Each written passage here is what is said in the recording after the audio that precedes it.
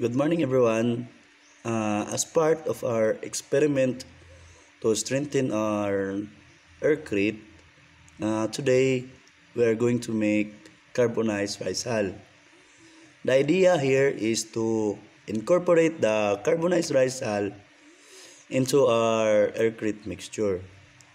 It means that we are going to use carbonized rice hull as an aggregate added to our mixture to add strength in our aircrete.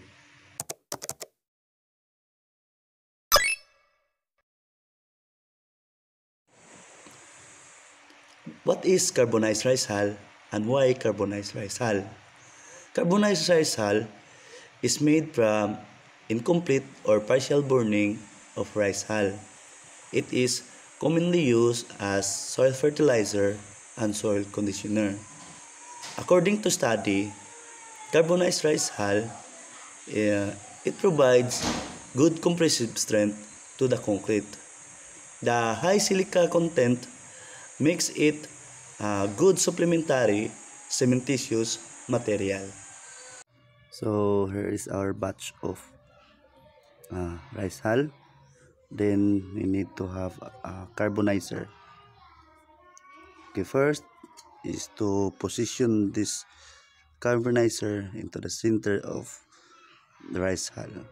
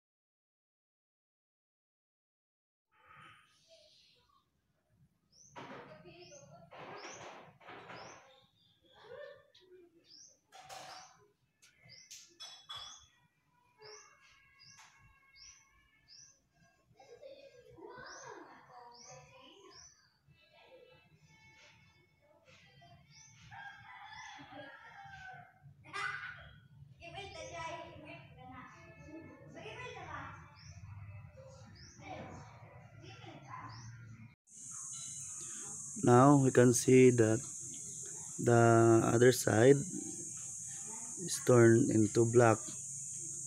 So let's wait until the process will get done uh, or this whole rice hull turns into black. Okay, so we take the carbonizer out